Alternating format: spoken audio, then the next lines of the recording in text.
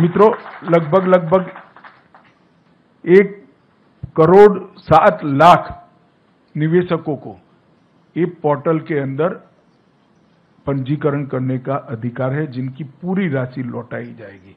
और कुल मिलाकर चार करोड़ निवेशक हैं, जिनको दस हज़ार रुपये तक की राशि प्रथम दृष्टि से उनको वापस दी जाएगी।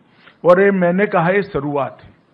अगर ये सफलता से होता है, और सफलता से होगा, उसका मुझे पूरा विश्वास है, क्योंकि पूरी प्रणाली को मैं समझा हूँ। इसमें कहीं पर भी कोई गड़बड़ की गुंजाइश नहीं छोड़ गई है, और कहीं पर भी जो जेन्युइन इन्वेस्टर है, इसको अन्याय होने की गुंजाइश भी नहीं छोड़ गई। जिन्होंने निवेश नहीं किया है, इसको किसी भी तरह से यहाँ से रिफंड नहीं मिल सकता।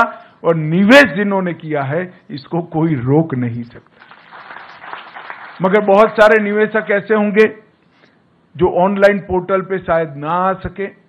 मगर ये बहुत ज़रूरी है क्योंकि इतने सारे दावों का फिजिकली भुगतान संभव नहीं है। मैं आप सबसे निवेदन करना चाहूँगा कि सरकार ने सीएससी की व्यवस्था की सीएससी के माध्यम से आप, ये आपका ऑनलाइन पंजीकरण करा सकते हैं। वो आपको पूर्णतया गाइड करेंगे।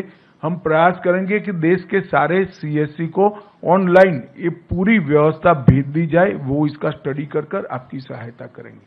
ढेर सारे लोग ऐसे होंगे जिनके मोबाइल आधार में जो रजिस्टर होंगे, वो आपने बदल दिए होंगे। तो इसका भी रजिस्ट्रेशन कराना पड़ेगा और आपके बैंक अकाउंट का रजिस्ट्रेशन तो करीब करीब सबका हो चुका है। इसमें दो ही प्रमुख शर्तें हैं। एक आधार का रजिस्ट्रेशन आपके मोबाइल के साथ होना और आधार का रजिस्ट्रेशन आपके बैंक अकाउंट के साथ होना। ये दो जुड़ाव है तो सिर्फ़ आपको रिसीट का वर्णन ऑनलाइन भेज देना है और एक फॉर्म डाउनलोड कर सिग्नेचर कर कर फिर से वापस ऑनलाइन भेज देना है। आपके पास, मैं आपको विश्वास दिलाता हूँ कि 45 दिन के अंदर पैसा आपके बैंक अकाउंट में जमा हो जाएगा।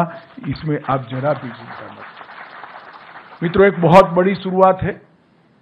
देश में ढेर सारी क्रेडिट सोसाइटियों में घपले घोटाले हुए। पहली बार मोदी जी के नेतृत्व में इतने बड़े घोटालों में पारदर्शिता के साथ आज निवेशकों को पैसा देना शुरू हो रहा है। ये बहुत बड़ी उपलब्धि है, जिसका मुझे कम से कम बहुत संतोष है और आनंद है कि आज करोड़ों लोगों को अपनी गाड़ी कमाई के पैसे, गाड़ी पसीने की कमाई के पैसे वापस मिलने की शुरुआत होगी।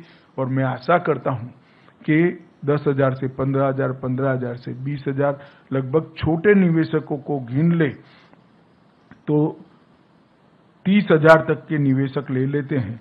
हम तो लगभग लगभग ढाई करोड़ लोगों को अपना पैसा वापस मिलेगा। ये बहुत बड़ी उपलब्धि है।